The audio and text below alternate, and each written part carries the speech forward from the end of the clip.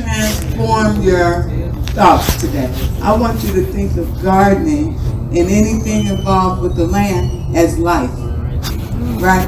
How how what you eat matters to you. My dad lives with me now. He has all kinds. He has diabetes. My mother died from diabetes. My grandmother died from diabetes. My grandfather died from diabetes. So I come from a diabetes family. I don't have diabetes. My little sister has diabetes. My brother has diabetes. The difference is I understand food to be life, right? So because I watched my grandmother. So I want you to think of uh, you taking control of your life and think of gardening and planting in the land as part of you owning yourself, right? In Chicago, when I go other places, you know, Chicago's so gangster. That's what we know for. All right, we know for being uh, aggressive and gangster. If you gangster, you own yourself. That's what it is, isn't it? You're in charge of yourself. Nobody runs you. That's what gardening is. That's what I've been around the world. I just went to Liberia in December. and Liberia, is very poor. Liberia, Liberia has people who came, uh, you know, were enslaved, and then they left America and went back, back to Liberia. Liberia is a, a country in, on the continent of Africa, right? Liberia. It's a bunch of extreme. It's very, very poor and very, very rich. Reminds me kind of like the United States a little bit. I went and stayed with both of those people. You know, very poor, very rich. What I know is around the world, people are struggling just to eat. Right? People, if you try to be have a sense of self, like you're in charge of yourself, you're not going to just do what people say. Then people try to hurt you by taking away your resources. If you don't know how to plant something, something, or what to eat, then how do you stay alive? So we all lately it's a lot of talk about revolution. How can you have a revolution if you can't feed yourself? When you run away from people or you're in a war and you end up in an outlying area and you can't produce some kind of food, you can't feed yourself. So today I wanted to talk about food as a tool for revolution, right? Talk about gardening as a tool for revolution, as a tool for us gangstering up, owning ourselves, right? Y'all from Chicago? Yes. Everybody from Chicago, so that ain't an alarming term. Gangstering up, you know, owning yourself uh, in Chicago. So I want us to talk about how, each of you to talk about how being involved with planting gives you a sense of self, or what does it do for your life? How does it make you solid? Yeah, as you was talking, I started to think about um, the story. Um, I don't look that old, but I would consider myself an old school. And there was a young woman, she was 72 and she had a stroke. And the first thing that came to her was to plant herself in the garden. And so she, her partner took her to her backyard, put her hands and her feet in the soil. And for it, she didn't go to the hospital and she didn't take any medicines. But every day she was in that soil and that soil healed her from her stroke. That was a garden that gave her life back without her having to be uh, uh, it, limited for the rest of her life. So to be able to connect with the soil, to be able to connect your body to the soil, and understand that whatever you put in, in there also communicates with you. And that when I thought on when she shared that story with me, I'm just like, yeah, that's. Right there to be able to um, trust in yourself without even knowing what the soul can do. And so um, that's that's a little bit of the reason to reconnect to the soil um, when it comes to our health and well-being. When we get in, in tune with how to take care of ourselves and what herbs we may need to plant into the garden, um, that means you're actually being in tune and not going to the hospital and trusting somebody else outside of you to give you the directives to what to do for you. And I, I get it. I'm, I'm not trying to, you know, convert anyone to not going to the hospital or to the doctors, but to make sure that you're in, in tune that when you grow something, know what's going on with your body and with the soil I can like that shit.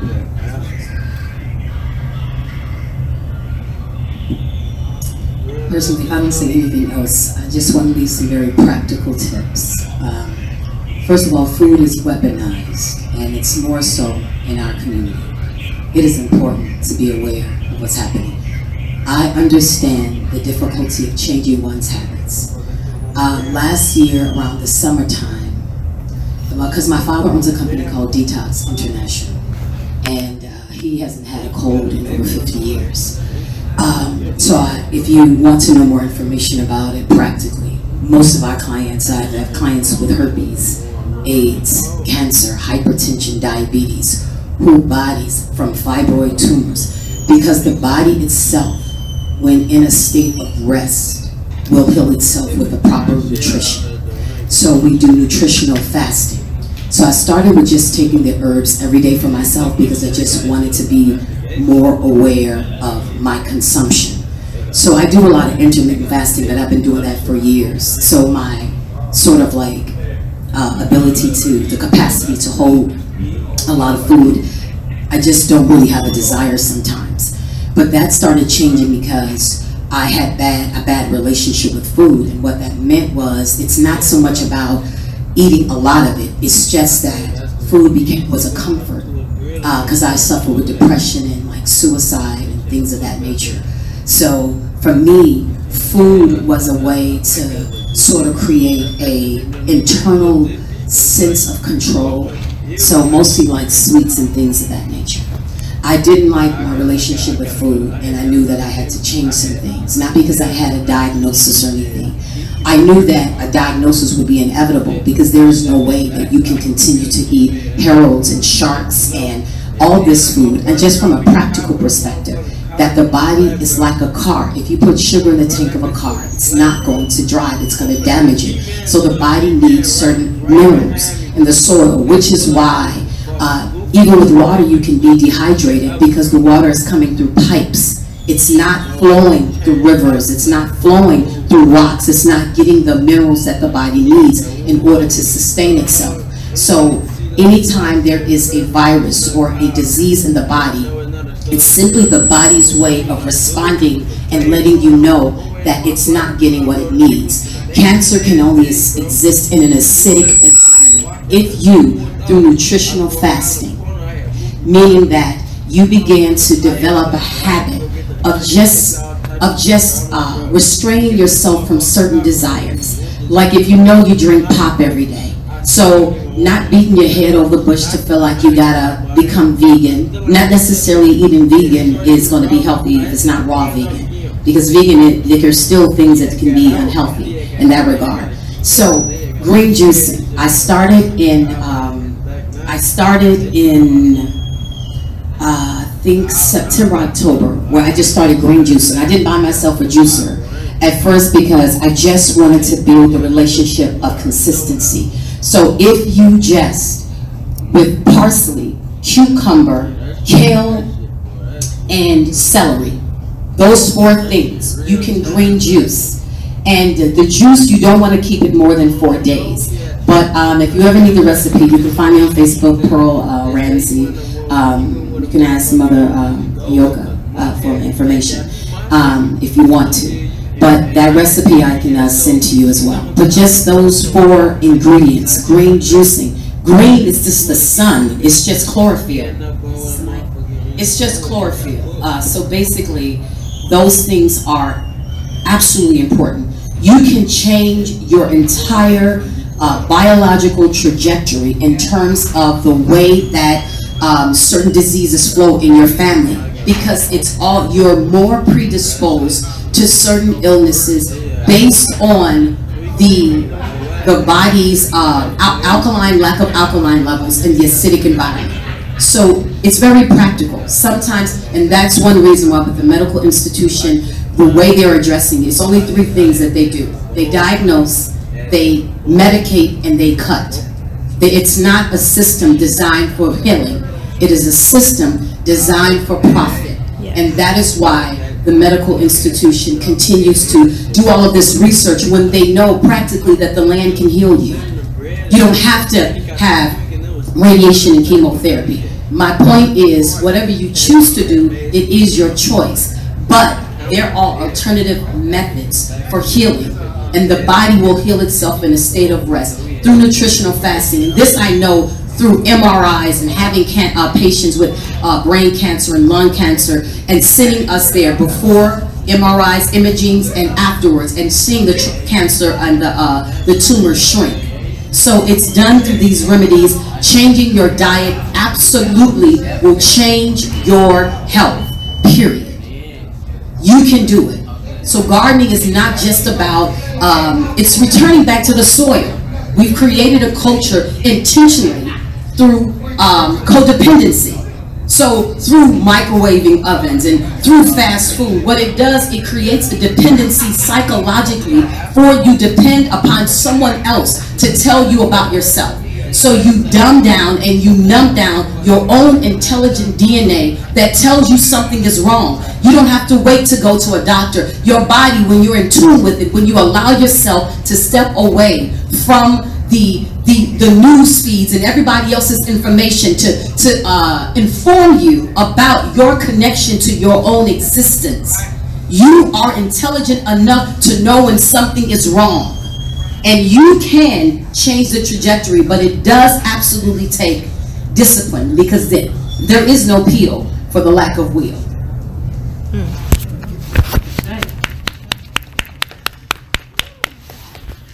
me, I think I'm gonna go back to when I heard Mama say revolution. And I said, let me look up this definition real quick instead of just giving y'all what I think it is or what I say it is. So the definition says revolution, a forcible overturn of a government or social order in favor of a new system. And so I'm thinking about the work that it is that I do and that my family does. And so, um, and placing that, well, let me back up. So if you're talking about revolution, right, and you're saying that there is something that you want to change, you have to build the institutions that they, you have to start building those things now. You can't just out of the blue, okay, let's just overthrow the government and everything gets thrown away. You have to start building those institutions. And some of those things I ended up learning from other elders. And one place that it is that I um, had went to some conferences years ago and built some of the elders was CIBI, which is the Council of Independent Black Institutions. And one of the things that they had taught was the six levels of uh, nation building. So those levels are food, clothing, shelter slash housing, education, defense, and healthcare. These are the minimum things that they feel that you need in order, institutions that you need to start building in order to, um, if you're going to have a revolution or if you're going to rebuild society. These are the things that you need to be focused in on. These are the things you need to be independent on. So with me, one of the th- when I looked at these, I was like, okay, where do I want to focus in on? Um, after I had my well, before I had my children, but definitely after I had my children. And the big thing for me was food, because I was like, if something happens, something go down, I don't want to see my children starving. So I want to be able to control that mechanism. I have my foot in almost every part of this. I can't really think of anything that I'm not really doing, maybe not building my own shelter yet. I'm working on it though. But almost everywhere. I even homeschool my children. So, you know, so, and they learn self-defense and we try to make our own clothes, even though I don't even have nothing on today. But the whole point is, is you have to start thinking about those things and you have to start building it now. You can't talk about what you want to do and you haven't even started trying to put plans in place. So if there are people that you know um, that want to come together or people, organizations that are already doing this work, you want to join those folks the best that you can and try to work together. Um, because that's the only way we're going to be able to free ourselves. If they control your food, you if your food is controlled by someone else, that means they get to decide whether or not you live or die. And that decision, I was like, hey, we we gangster, right? We from Chicago. Don't nobody run me. Well, yeah, they do run you. You go to the grocery store. If there is an emergency right now, most grocery stores only have food for three days. Three days worth of food. And I can tell you, it can get pretty bad. I was living in St. Louis and we had a big water main break. I went to the grocery store. I had my own store. Went to the grocery store to get some water. My husband was trying to save our stuff. Well, as the water is coming in, and he's like, "Look, we need water." Blah blah blah blah blah. So I'm like, "I will go to the store." I am sure. I think I was probably like seven or eight months pregnant, and I went to the store to get water. People were hoarding the water, food just flying off the shelves. I'm like, man, I thought we had three days. This is my survival training. No, it was stuff flying off the shelves, people hoarding, had carts of water. They saw I was pregnant. I'm like, man, you're not gonna give a pregnant lady water? They like, no. And the only reason why I got water is an employee came out with more. But everybody else was like, I don't care if you're pregnant. They forgot, they didn't care about that. So you want to be able to have those things in place, whatever it is. Think about these six levels if it's not food, but food for me was the big thing. Is this is what I want to contribute to not only my family, but eventually it stretched out to the community. This is what I want for my people. I want us to be able to be food sovereign. I want us to be able to feed ourselves. I don't want to have to depend on anyone else for that. And then that even goes further with the seeds. So, I mean, I'm going down a dang on rabbit hole, right? So maybe I better leave it at that. But just, I just want to put that in your mind, whether it's growing the food or anything else. You want to think about what is it that is controlled and that if you intend to really free our people, what are the institutions that you are willing to build? What are the connections that you are willing to do with people? Because you're not going to be able to do it by yourself. You have to do it with other people. Okay? And I have these cute little video to show you people I'm working with, and I'm like, well, whatever. You know, technology. And I'm to leave it at that. Okay. So. Did I answer the question? Because I was trying. Absolutely, absolutely. Great information.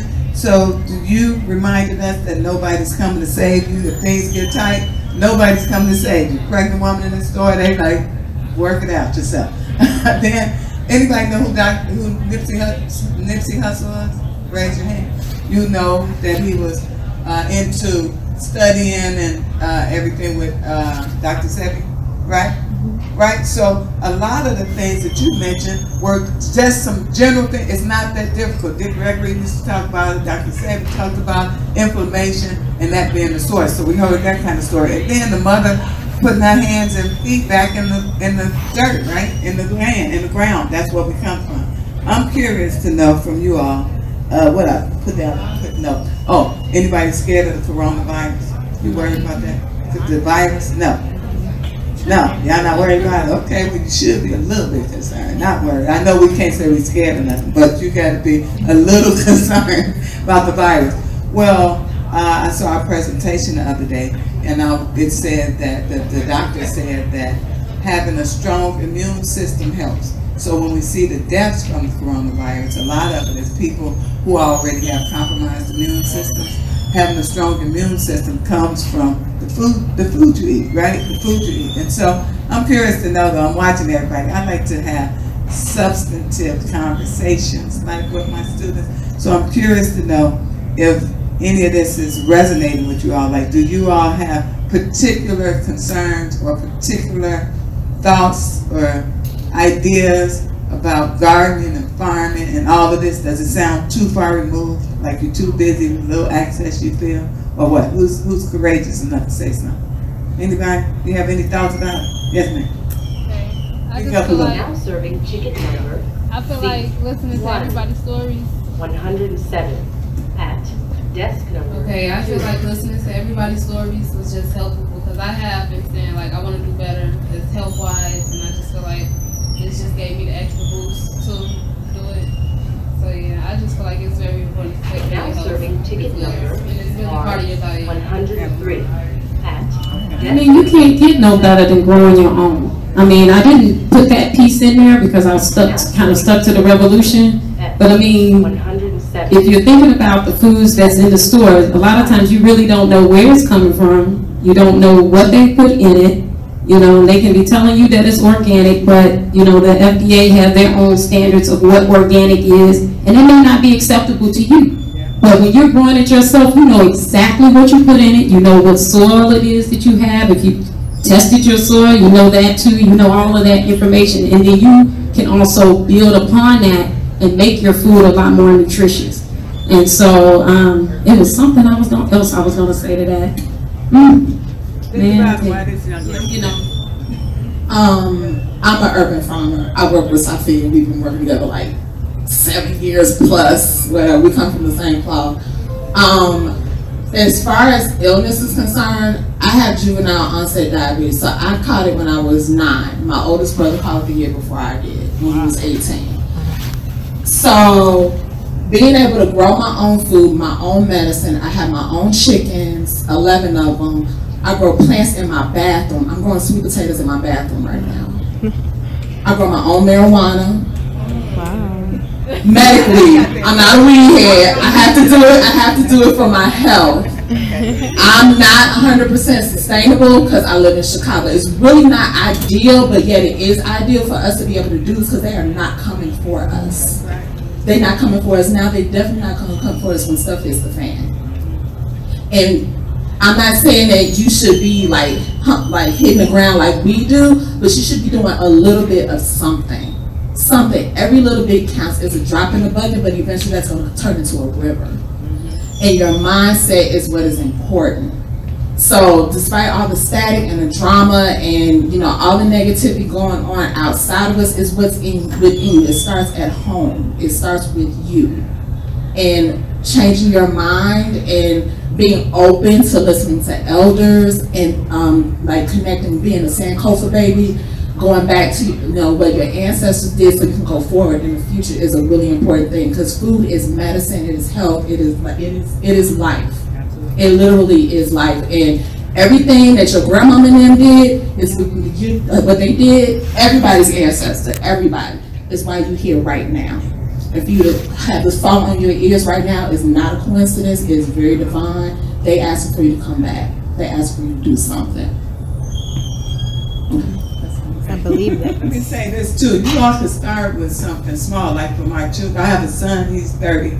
My daughter's uh, 22. She'll be 23 next month. But you can start with something small. So for them, when they moved out to, like when my daughter went to college, I gave her uh, an aloe vera plant that I bought, like all some little aloe vera plant, and you know, and she sat it in the window. But she's used to using aloe vera. Like you go to the store and you get a scratch or something, you get um, you pay ten dollars for something that has aloe vera in it. You could just get your little cheap aloe vera plant, grow it, and then if you you know like in the movies how they had a miracle drug for the superhero. Like you get hurt, you put something on it, and it heals right fast. That's what aloe vera does. My dad, you know, if he gets uh, diaper rash occasionally, they have all these expensive creams. I go right to the aloe vera plant, get the get a plant, cut that plant off, put on. I promise, it amazes the doctors.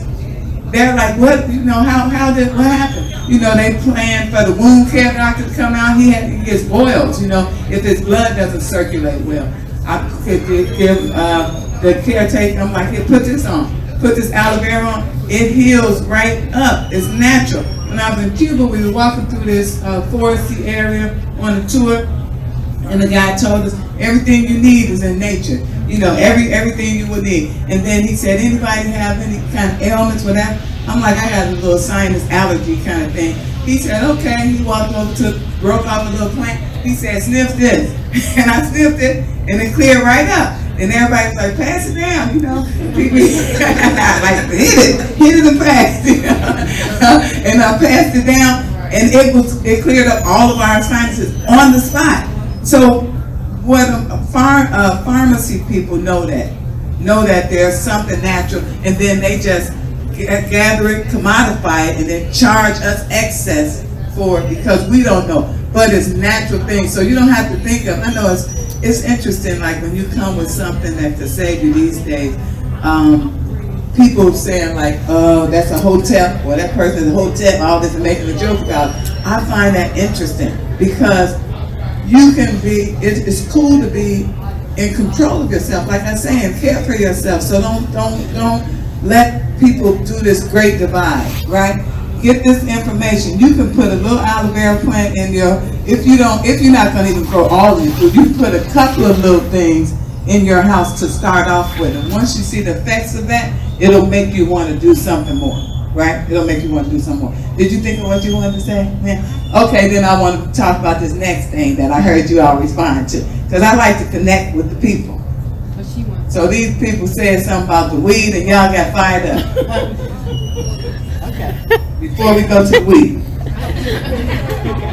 So I just um like how you said it is like divine intervention because I feel as though especially people well just in general being in America it in, in certain areas well I'll just talk about being black it seems as though it is hard to live a healthy lifestyle and you know how you said that um, we are codependent we very much are and it's like I'll say for instance in the Jewel I live on 95th and Jeffrey most of the organics, I mean, stuff is very expensive, you know. But then I go up north, and something like this apple that was like eight dollars here, or a bag of pears is like ten dollars.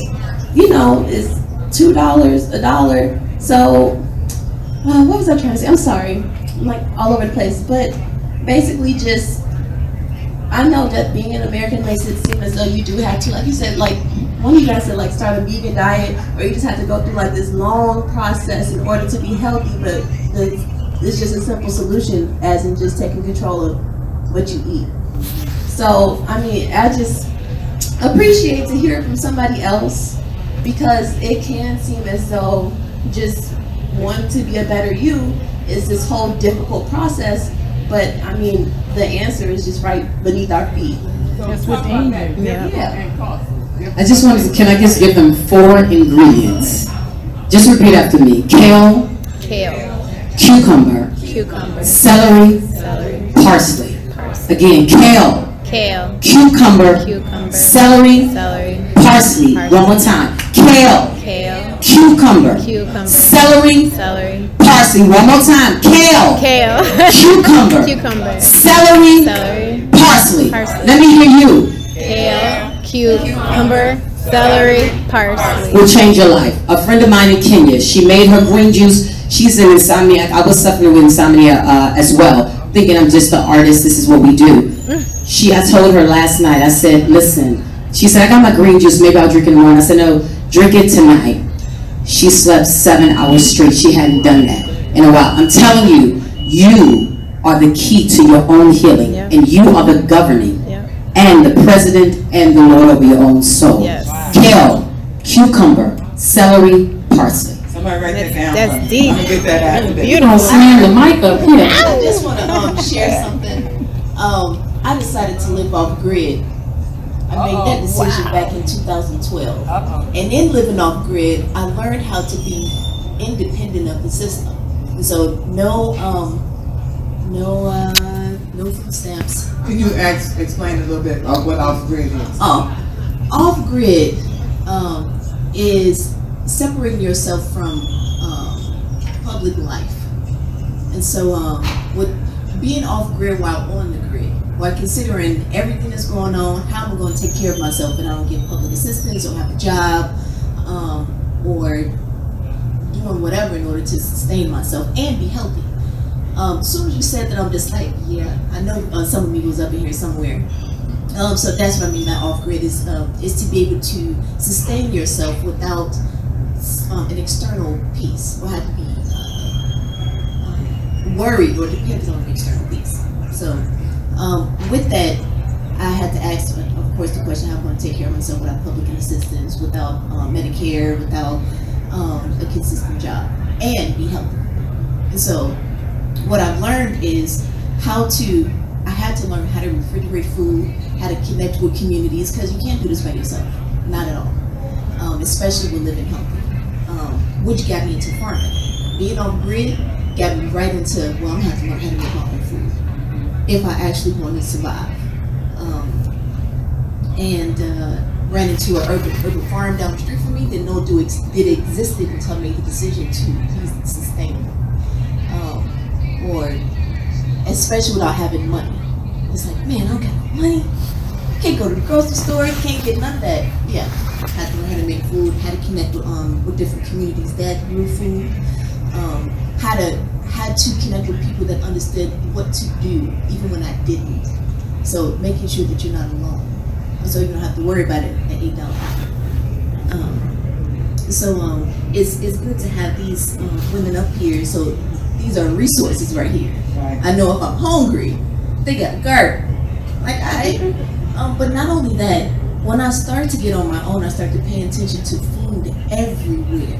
If you've ever been downtown and see those plants that just have sitting there looking pretty, those are cabbages, carrots. I mean, I'm like, oh, they got food just just out here, looking pretty And medicine.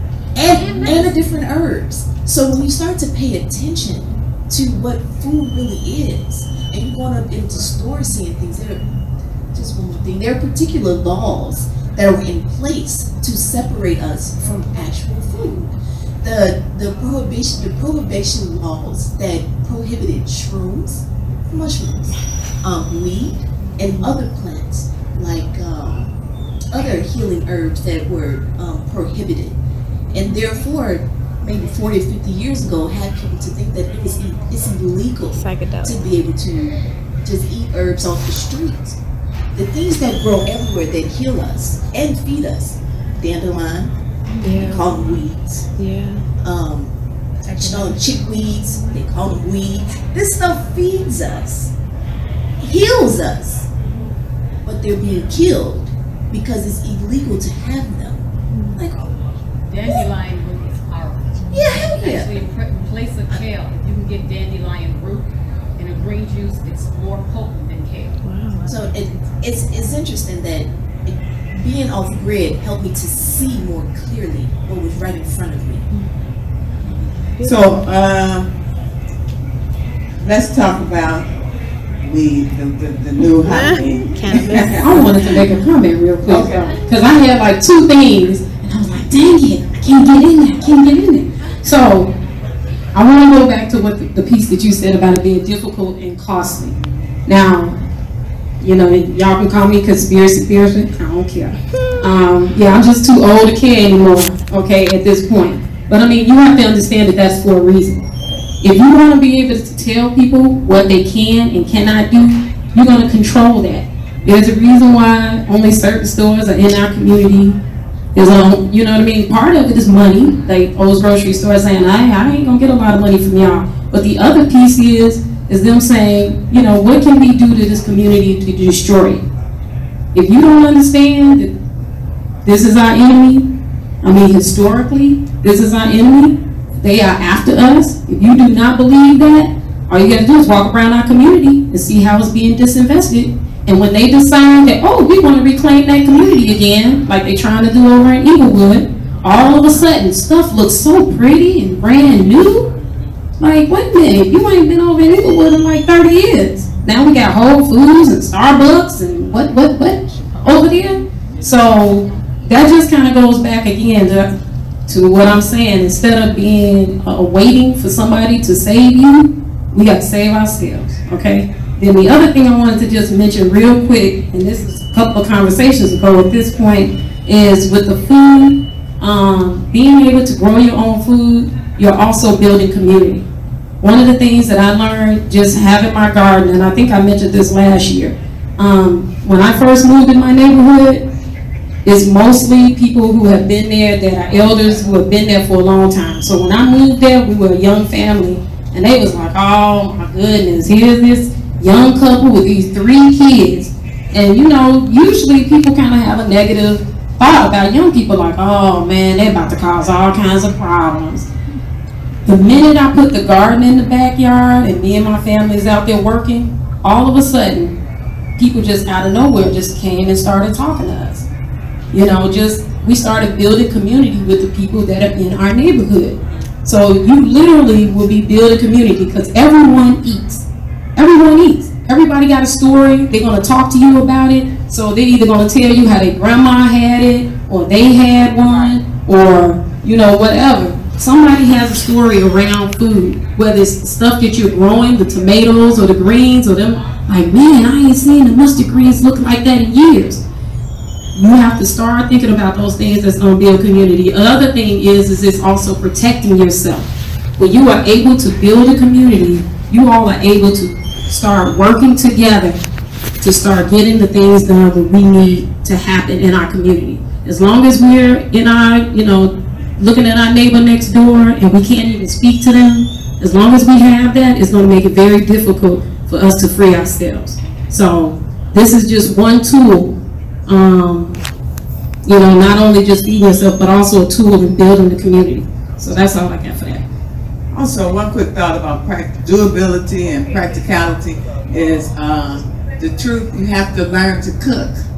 You know, you have to learn to cook. You know, you don't have to be a super chef, but you to learn how to cook. Then, then you don't feel like you're missing something. So, for my family, like I said, we're a diabetes diabetes lady family. My whole the whole side, my mother whole side, and so. Uh, for that family, if we have family events and you don't have the standards then you out of order. Like if you don't have some mac and cheese and fried chicken, all the all the things we grew up with, that's love for my family. That's how we love each other through food, right? My grandmother was a chef, and so it's disrespectful if somebody if you have an event at your house and you don't have these delicious foods. So I had to learn how to um, just over time trying to stay alive, I had to learn how to kind of doctor stuff up so that people get flavorings they like, even in my new thing, and then I couldn't tell them what it was, you know?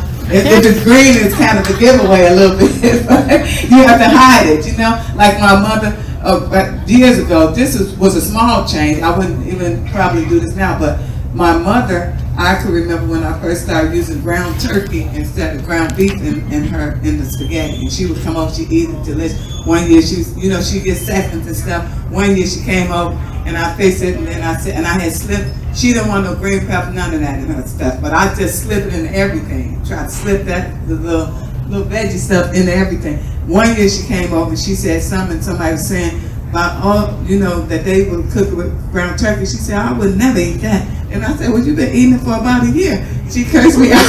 she cursed me out real well and said, don't do that. Why would you, you know, she was very angry. But she had been saying it was delicious. You know what I'm saying? So you have to trick. My nephews, my sister doesn't eat that vegetable, She said, so she said, they don't eat that. I'm like, they eat this at my house all the time. Just some, like a, a, a stir fried vegetable thing, you know. For breakfast, I put, if you hungry at my house, and you come in and I'm cooking, you smelling something, I might put some garlic, green peppers, onion, and eggs. And people like, well, I don't eat that, then I add the cheese for them, then they eat. Then finally I go and wean them off of it, you know? You kind of meet people where they are and ease into it, you know, even for myself, because I, I still have that craving in me, because that's what I grew up with. So you have to, you have to start somewhere. That's what I guess I'm trying to say. And if you learn how to cook, you'll learn other natural things. Like you could toss some garlic into a lot of stuff. You know, there's a joke now that black people put green peppers and onions in everything, you know, and then put a little garlic in everything. If you put that in there, you're getting this natural thing that's fighting uh, inflammation and stuff in your body. Cam, you want to say something? Hey, Cam. Great, great panel. Uh, I just want to say a little something before I have to go on the subject of. Now, most people know me in, as being in the reparations Now movement. ticket number. And there's a concept that we're um, seeing now in our DNA as a result of the enslavement of our ancestors. It's a concept called transgenerational epigenetics. And what it means is that as a result of the trauma, as well as the diet that was forced upon us during the period of enslavement, that our, a portion of our genes have been altered that makes it susceptible that we have in our family diabetes or heart attacks or strokes or cancer. So all of us in here who are of African descent carry a portion of your gene that was altered from way back when. And we know that we're going to develop these illnesses as a result of the diet that we have. And so we continue to eat the, what we call, what I call a survival diet. It was called a slave diet in the past. Some of our people refer to it as a slave diet, the soul food we eat today. I consider it was, it, was what we needed to eat back then to survive. But we don't need that diet no more. We, we're in a whole different state of, of reality. We have more choices than we had 200 years ago, 100 years ago, even 50 50 years ago. We have more choices. So if we want to keep from having early heart attacks, early strokes, early kidney disease, all these cancers, we got to be serious about our diets, about the food we take. How many people in here have on their stove a pot of dirty grease? Recooked. I'm not gonna say dirty because nobody wants to answer. But who has on a container of, of, of, of cooked oil? They don't do it no more. That's what, that used to be. That used to be. I still see it in a lot of my tenants' apartments. I still see it. They have two and three containers of, of cooked grease. Once you fry with oil, throw it away. The second you use it again, it's cancer causing. But that's something we've, we've passed down generationally in our family. I remember as a child, we had those Crisco containers of this, this cooked oil over and over and over again. And so these are things that we've inherited that we used to survive off of. We no longer use those. If we want to survive now, we have to listen to these people on this on this panel. Thank you. Can I just add on to what you said, Papa Cam, because I'm glad that you're jogging my memory up here. Because sometimes I say some stuff and then I forget to add, this is why I do what I do. And the epigenetics just reminded me of why. Because in the beginning, when I introduced myself, I mentioned that I grow foods from the African American Southern tradition and the African diaspora. And the reason why I started growing some of those foods from the African diaspora is one, for us to reconnect ourselves with ourselves, because some of us don't know we African, all right?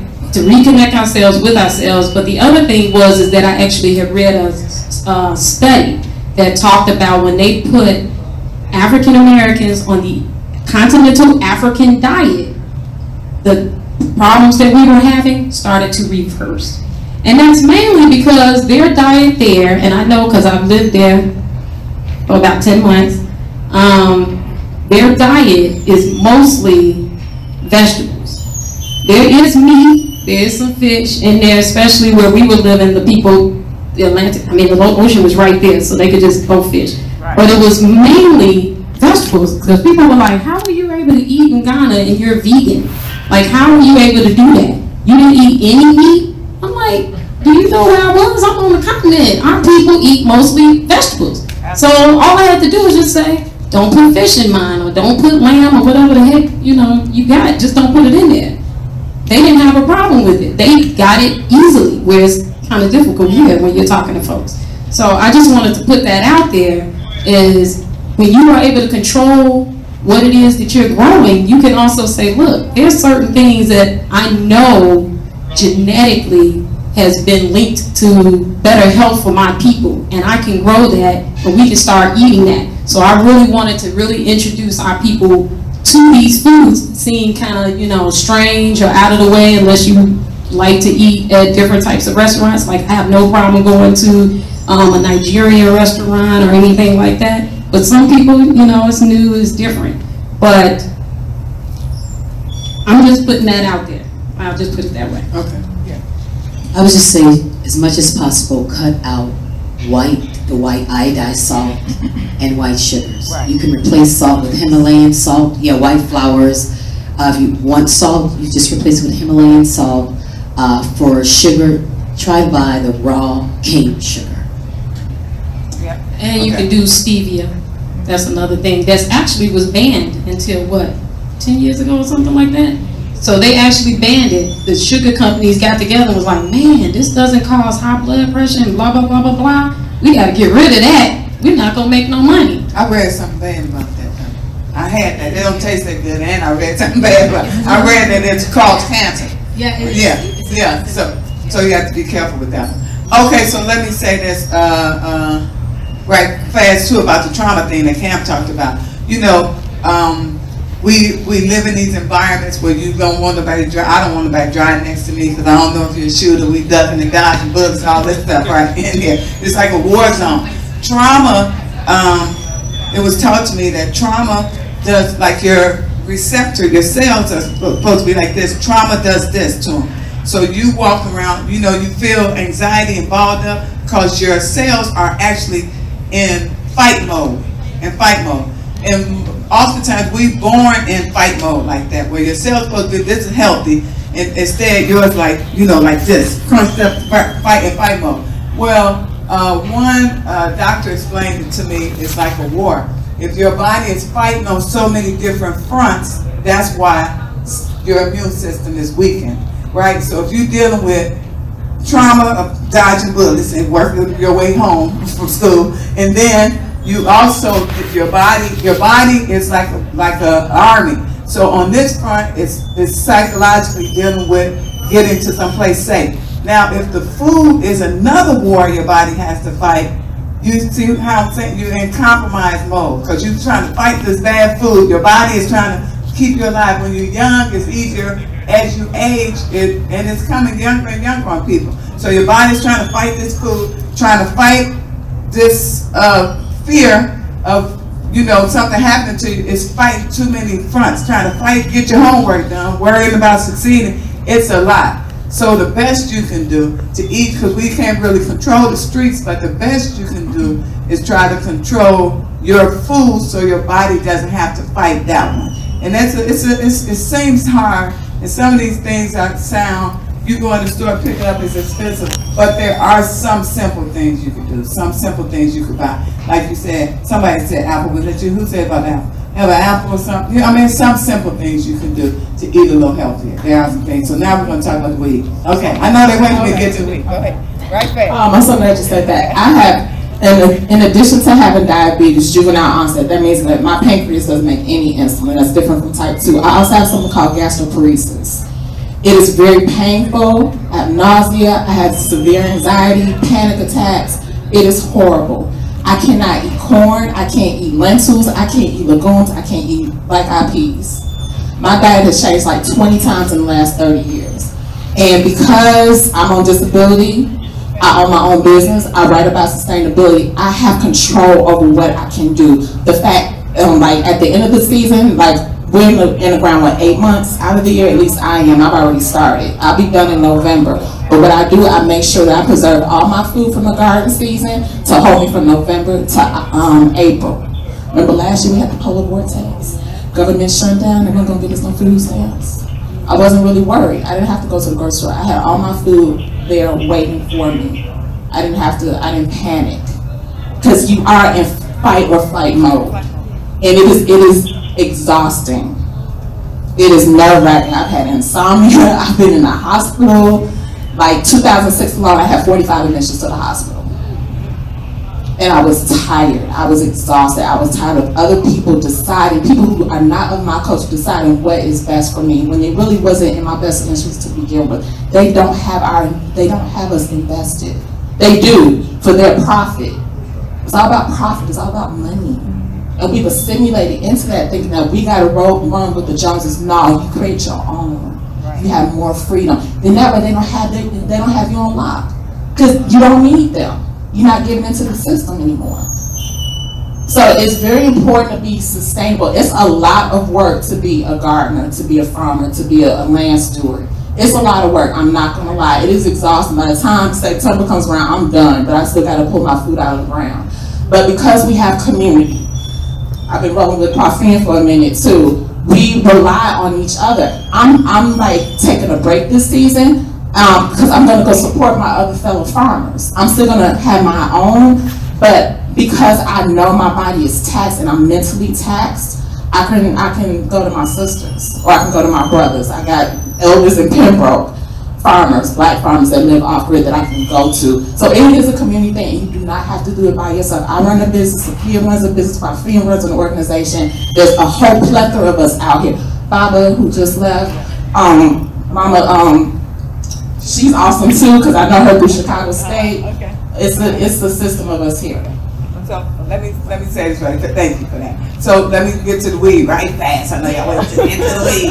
So first, I want to say one thing about that. You see how like a lot of the health centers are being replaced by dialysis centers. All in the hood. Y'all see that? Where LA Fitness, it used to be a health club going out, now it's a kidney center. What? You so you have to be careful. This is intentional. All these popping up everywhere, so we have to attend to ourselves. Let's get to the weed. So the weed. So my son is 30. I told you. My son went to Morehouse. He's you know cool dude. He owns a um, pro- pro- production company. Y'all heard of Wonder Studios? Uh, produced Lil Y'all know who Lil is? Any of the young people? Lil Fo, I went. Lil Fo, Kid Wonder.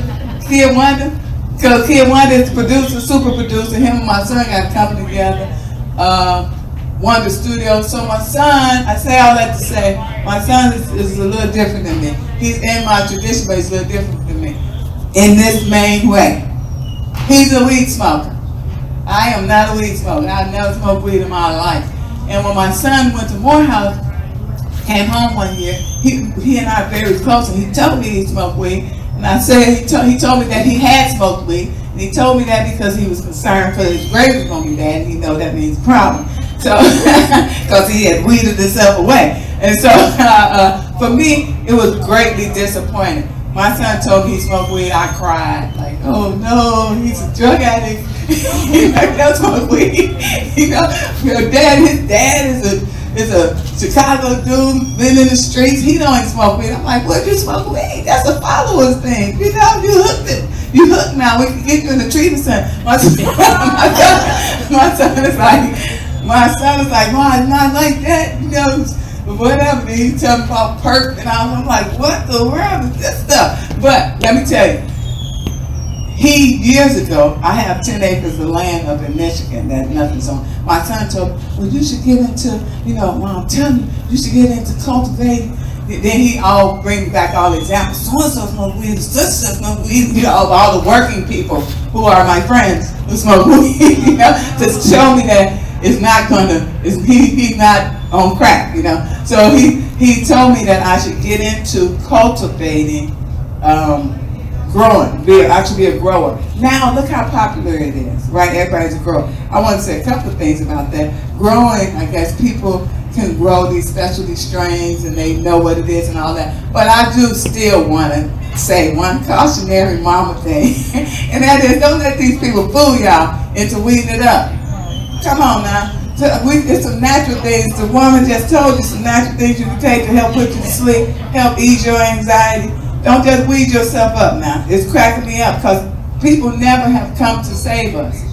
So you're not bringing weed things to save us. I know you're bringing it to steal our money because it's an underground economy. You know what I'm saying? And now you're coming in swooping in front of it. But it's also it also serves another purpose if you could get everybody just to stay on weed all the time, right? This is not the weed conversation I thought it was going to be. See? So be careful. There's some natural things you could take or you could use to help relax you too. But speaking of marijuana, it is a thing now. You still have to be careful because everybody thinks now you're gonna grow in your backyard. That can't happen.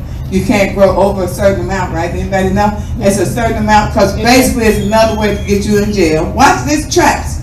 It's tricks and traps in there. So they're getting all our money that everybody used to get. You know, all my little cousins used to get. they get they getting everybody money now. They also making people lose focus, right? And then now there's so many new rules because it's still developing. Like you could not smoke outside. You think you smoke in your car. You think you could grow it in your backyard. There are rules to that, right? I should say that marijuana, that's a natural plant. Did y'all know coke is a natural plant, right? Those are all natural things. So we should also talk about um, in nature about things being I'll, I'll say abused, abused. Because in nature, like cocaine comes from coca plant, that's natural. People still, farmers in some places, poor farmers, chew that to have energy to work for hours and hours a day in that hot sun. So all of these things are natural, but it's still, you have to have limits to it. You understand what I'm saying? You have to have limits to it. Y'all want to add anything on the weed conversation? So, Now serving ticket number Thank you all for hanging around. We appreciate it. I tricked, I knew it ended at twelve thirty, so I tricked y'all, got y'all to hang on for the weed thing. Okay? Okay. But thank you for, uh, listening. Uh, it's not over though, right? Or is it? It's not over. So we're gonna still talk about, um, if you all have anything to add on the weed thing right fast before they leave. oh, thank you guys. Or any natural substance that they could take that could help them relax, any natural plant. You said, could you say what you said again? So we t- on this weed conversation. Uh, so kale, celery, parsley, cucumber. Kale can be replaced with dandelion root. avoid white iodized ingredients like salt, sugar, and flours. And lastly, um, just to provide a little hope in the midst of a, again, genocidal system, is melanin is actually healthy for the body. It feeds the immune system, the brain cells. So in the midst of these spiritual attacks, your very skin has saved you. Wait one second. I want you to tell them what relaxed you for the sleep stuff. We The talking about juices. what get you into the weed. Oh, that that helps you. That helps Rest? you go to sleep. Okay, oh, there you go. Now serving There you go. ticket number Okay. at Samantha? 110 at desk number one. Say that again. I heard I heard that lime was like pretty good like for like brain food and stuff like that and like pretty good for your body. So would you prefer that too?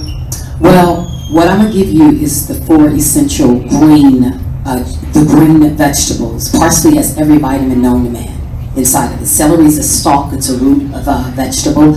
So, sure, I, I encourage you to do your research on, on different things. But in terms of the practicality of things that you can do right now that's accessible, just those four things. And when you juice it, you throw away the pulp.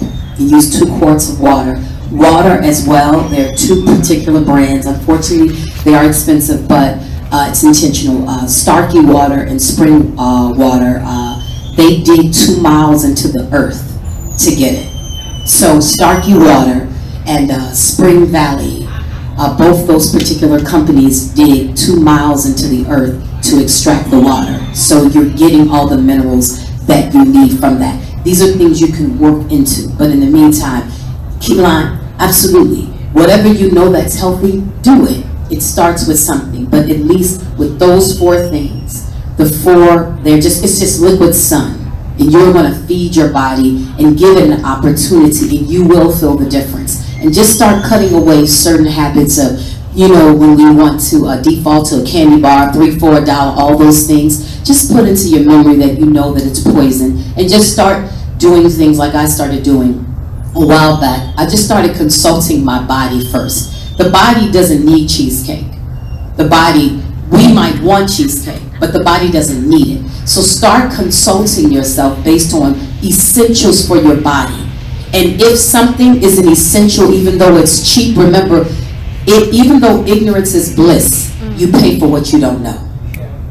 Okay, let me say this too. For brain food, blueberries. Blueberries help and blueberries. And then you all can go to Aldi's and get these little, you can get, if you don't have time or access to natural things, you can go just get some berries. All, uh, the berries help a lot, especially dark berries. Antioxidants for sure. I just wanted to ask, can you add a little lemon juice to, to curb that taste at least? Yeah. Uh, if you want to curb the joke to taste uh, for the drink, add fresh squeezed orange juice. Fresh squeezed orange juice, as well as fresh pressed apple juice. So that'll definitely that'll definitely curb the taste. It doesn't taste bad, but in terms of consumption, fresh squeeze, not concentrate, nothing in a box. Fresh squeezed orange juice, fresh squeezed apple juice, and you can add a little bit of coconut nectar, but as well. What's the easy way to squeeze? What's the easy, practical way? Uh, you can buy it. Oh, fresh squeeze. Yeah. Okay. You can buy it. They, they sell it. But we looking for the cheap place to get it. No, you're not looking for cheap. We Stop. look for inexpensive. But no, listen, because what I know is people are gonna leave and not do it if they can't afford it. I get that what you're Yeah. saying, but you have to know you're worthy of it. So just like you'll spend six dollars for a meal, spend that five dollars to get some fresh squeezed orange juice. You're worth it. Or some, Well, I was gonna say some of the changes I uh, realized in myself.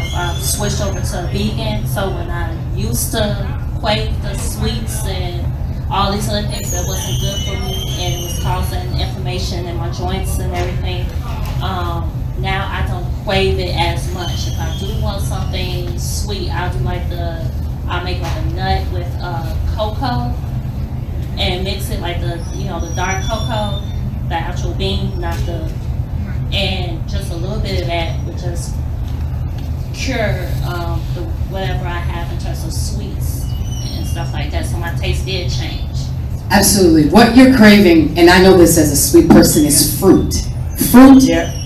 If you consume fruit organic, Yeah. do it just for yourself, organic. Do not compromise with your health. And, and begin to change your thinking about what is expensive. Because what is expensive is when you have to pay for radiation. One radiation treatment could cost seventy-five thousand dollars. It's very real. So it is not expensive when it comes to your health. Bottom line, just whatever you gotta do to begin to work on the mindset. Even if you're still doing the same things, just begin to tell yourself, or pray for guidance, I just need some help. I understand it, but absolutely with the fruits. The inflammation is an internal holocaust. Breads, all of that yeast in the body, it doesn't go away. And so what happens? The cancer in the body basically is the body's way of containing containment. Tumors are just the body creating a mucus and membrane around an area that is not totally oxidated. When the body is not getting oxygen, it creates a tumor. So cancers is actually the body's way to responding and letting you know this is the area that needs attention. Anytime the body is sick, it's telling you it needs attention. And so what you do is you begin to remove anything that grows yeast, like the breads in the body, like the sugars in the body. Those things, your body naturally needs the sugar, it gets it from fruits. It does take time, but just allow yourself a gentle conversation of healing where at least you're moving in that direction. But if you remove it, there is no way that your body will get sick if it is properly nourished, period. It's not a matter of anything else except for food. Our bodies are breaking down because of food. And I think if you just start somewhere, you will feel better, and then that'll be encouragement for you to go a little further, you know? Yes. I just wanted to add a tidbit because you mentioned inflammation, and I have RA, which is rheumatoid arthritis, and um, which a lot of people don't even realize that I have it. Um, but one of the things that I realized what helped me is I found out about the what they call the nightshade family.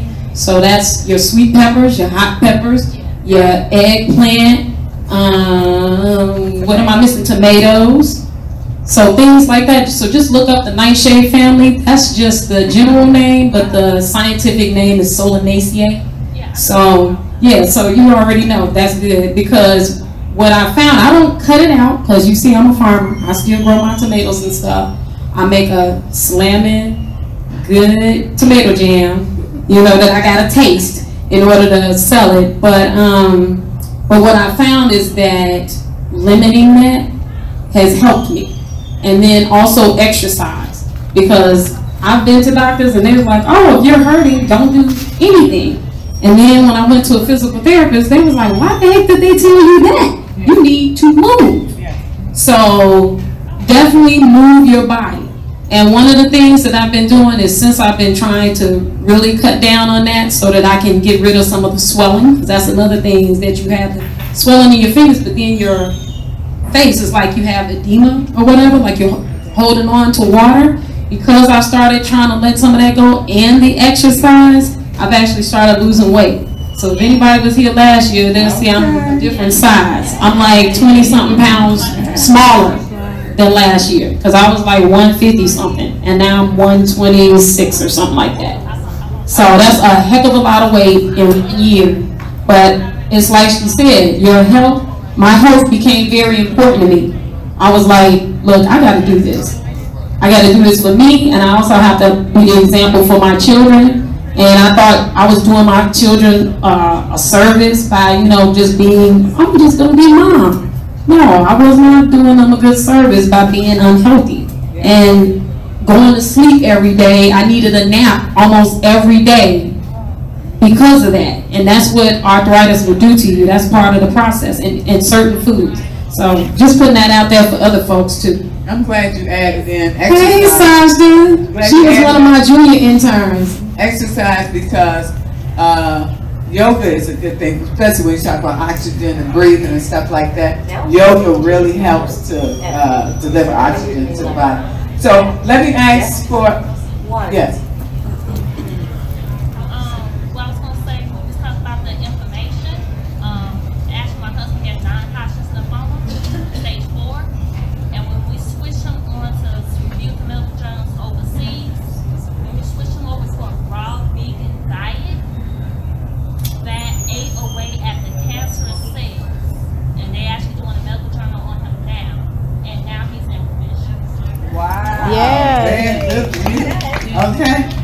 Let's say you, you, you want me to wrap it up? Top on. Okay, all right. Is, is there any other, are there any burning questions you all have?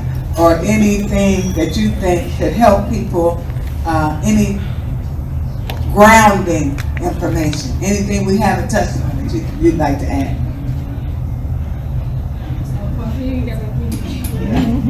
Again, just one last, uh, again, kale, parsley, cucumber, celery. You can replace the kale with dandelion root.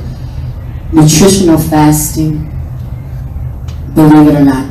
Just imagine that in terms of a seven-week schedule, that systemically, there's a weekend, right?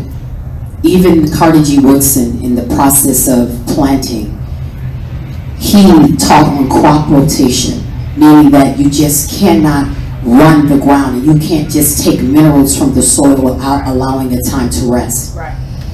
At least programming your mind so that you eat to live. And I mean, you don't eat to live, you live to eat. Wait, am I saying it? Eat to live. eat to live, you don't live to eat. And the reason why that's important is just begin to program yourself in terms of the way that you're digesting and the way that you're eating. The body needs a break.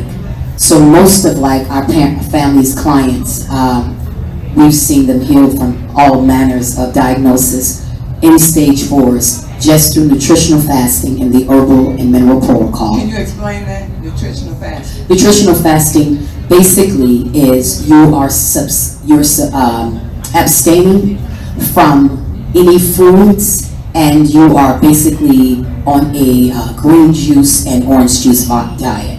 And with us, we'll have the herbs. Uh, my father has a company with that, and he prescribes a particular remedy if you're dealing with something specific.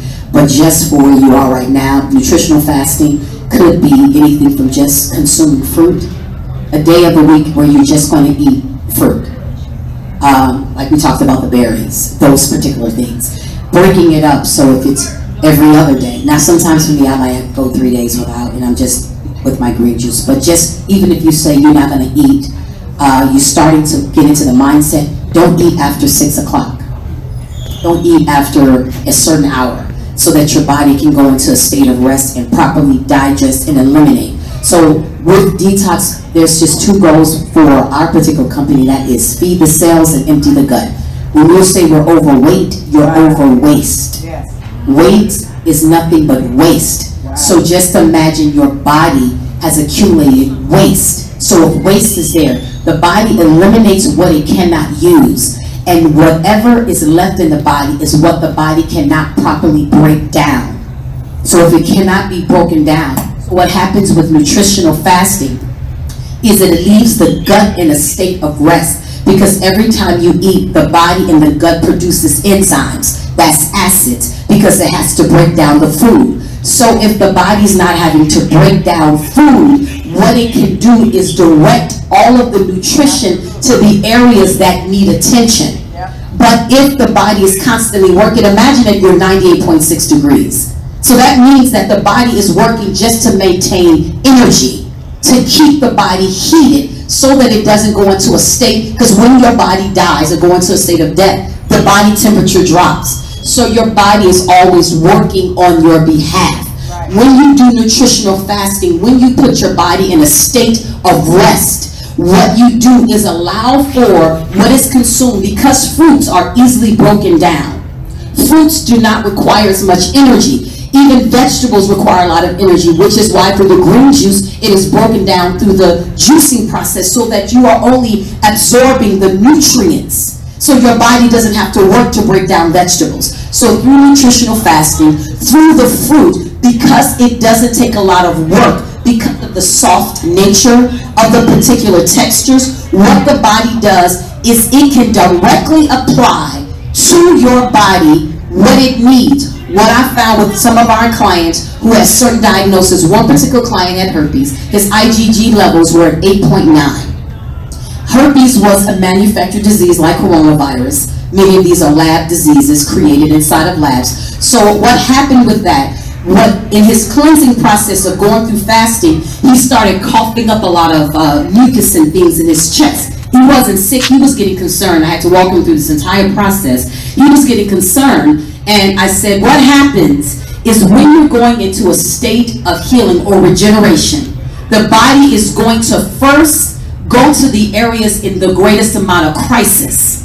So what it does, eliminate. So if there's anything in the body, it's going to, if there's something sitting in the chest, it's going to eliminate it. So in October, his IgG levels were 8.9, and that's the test that they use in order to determine the potency of that particular virus in the body.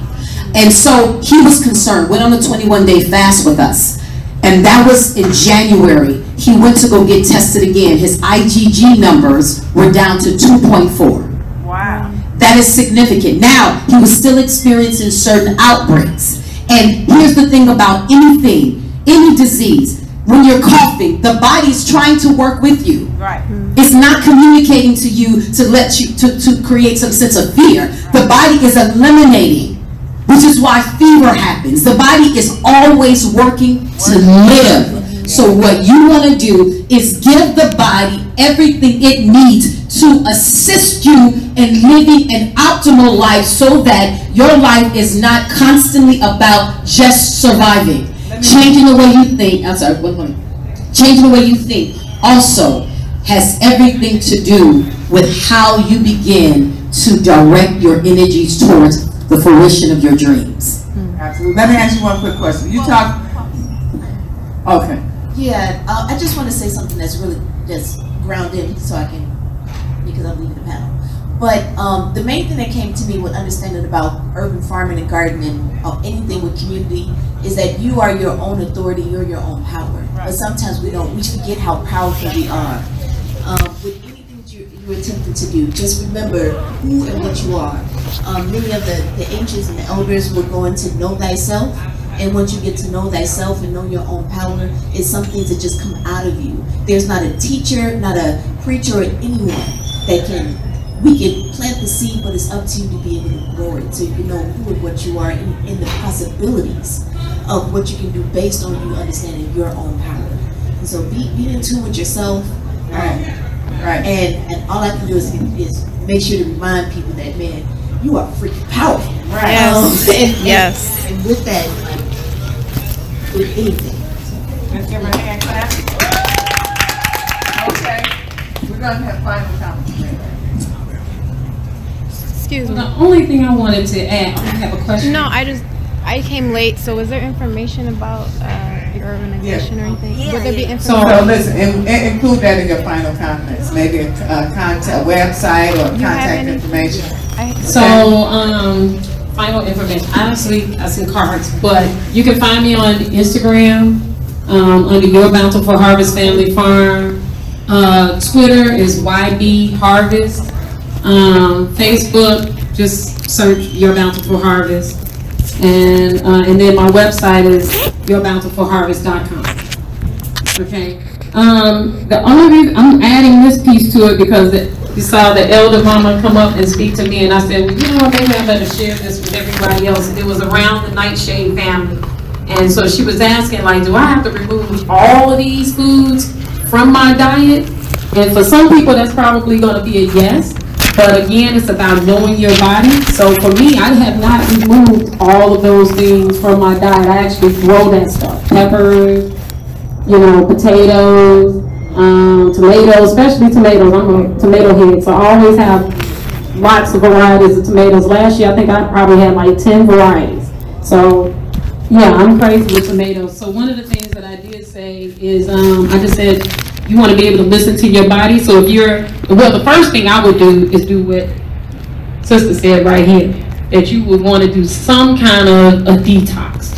Okay, whether you go through somebody, like at the Good Food Center, you have an elder there that does detox. I can't think of her name right now. It's not Where coming is to that? me. Where is that? On uh seventy, I think it's seventy third near Jeffery, but I forget that street. Oh, Dang it. You know what? Oh, 73rd near Jeffery.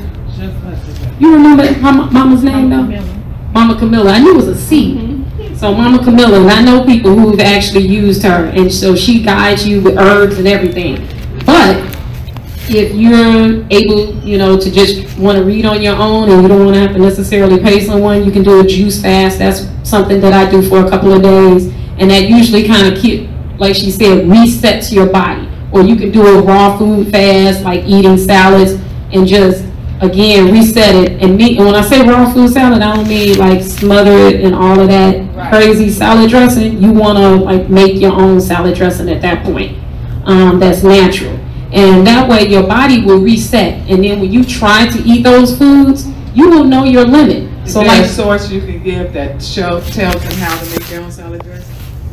uh, I just get a, well, I'm vegan, so I just get a raw food cookbook. Okay. And do that. But the most simple one is olive oil. YouTube? Yeah, YouTube. YouTube, yeah, I great. do do YouTube sometimes too. Um, but the simplest one is uh, olive oil and um, like apple cider vinegar sometimes. Uh, you can mix those two together. Sometimes you add a little sweetener. Um, but what else was I gonna say? Oh yeah, so as you're listening to your body, you'll start to find out what your limits are because right now you're so overloaded. You can you don't know what your limits are. You just eating everything and you're like, man, everything is bothering me, or I don't really know what is bothering me. But when you reset your body and you start to slowly introduce foods back into your diet, you will start to see what you're reacting to. And so, like I said, me, I can still eat the tomatoes, even though it's still causing damage. I know it is. But I can still eat it, but I know it's to a limit. So if I'm eating the tomatoes and then I wake up one morning and my fingers and my toes kind of swollen or my face is a little bit puffy, uh-oh, I know Sophia, stop eating the tomatoes. Don't eat anything else from the knife nightshade family. You need to take a break.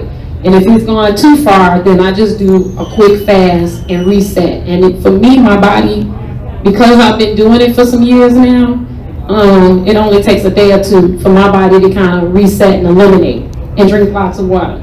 Um, and I think that was all I had since she asked me that. Thank you very much. In terms of a dressing that can be made is uh, to soak walnuts overnight And then the next day you can add, uh, for dressing, you can add basil and coconut uh, vinegar or coconut amino acid to it, blend it up. And uh, also in terms of a sugar replacement, there's something called monk fruit. And monk fruit is extremely potent. I mean, it's one dab on my tongue, it's potent. But in terms of an alternative sweetener, monk fruit, these are goals that can be worked towards. In the meantime, uh, unfiltered raw uh, honey. Now, my father, he is a fruitarian. He's he is bionic, so he's just a whole nother level. So he doesn't, but it's in it's evident in his body. He has not, he's got not gotten sick in 50 years. Wow. So it's real. A fruit diet and nuts, it will be the direction to go because we've been so removed from the earth. So in terms of a realistic uh, right now to move towards that, but the reality is is that the body is responding to sickness and disease based on diet. Period. And if you want to change it, depending on how how how bad you want to change your life, it's going to take that sort of um, that movement in that direction. Fruit, those particular nuts, pine nuts are very healthy. Walnuts are very healthy. In moving in that direction, try to sustain and, and try to abstain from um, the white, floury, uh, the, those different things, and uh, manufacture processed foods. Do you have any contact information you'd like to share? Oh, um, my name's Pearl Ramsey. You can find me on Facebook. Uh, Mother Yoka Fua. Uh, if you want to, I'm, I'm here. You can ask me afterwards. Okay, Let, let's give a hand. Okay, and let's give a hand for your professor. Give a hand right Yes! This is real education. That's what education is not supposed to be just you memorizing dead matter. It's supposed to be life-changing and life-affirming information that helps you to be, be your best self. So we want to thank you. I think my uh, final comments will be, I still, I'm still stuck when you said cocoa. When I was in Liberia in December, I went to this guy I met. He owns a cocoa plant. I ate that raw cocoa. It's gross. it's bitter. It's very, very, very bitter. Right? So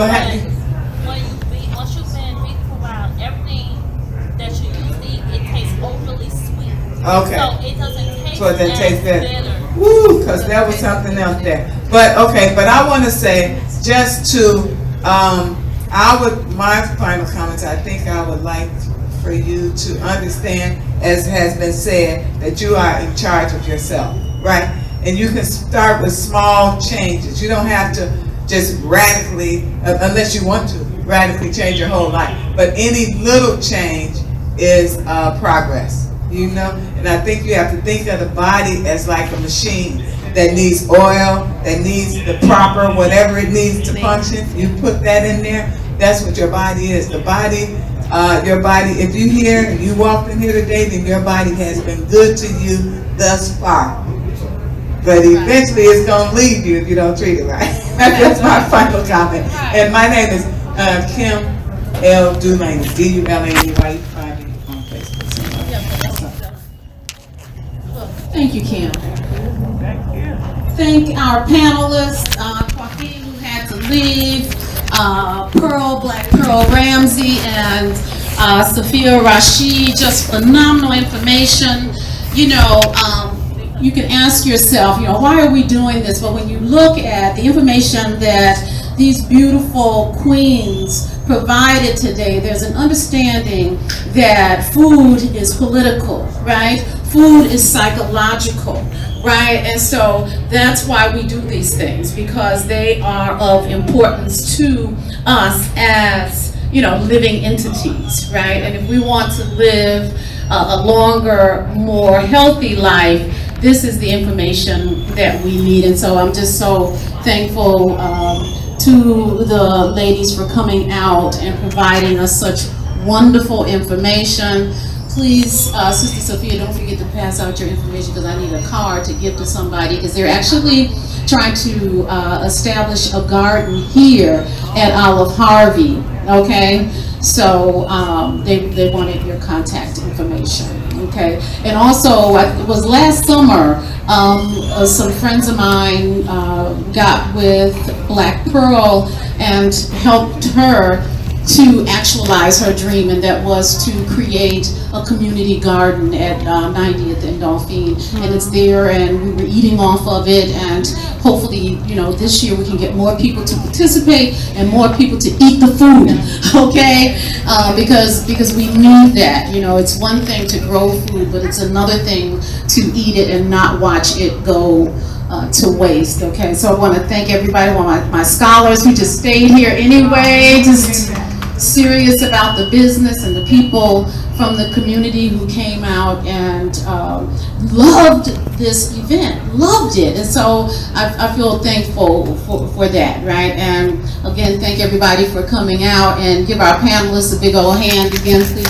Thank you, thank you, thank you. We appreciate you. Thank you. Many, many blessings. And thank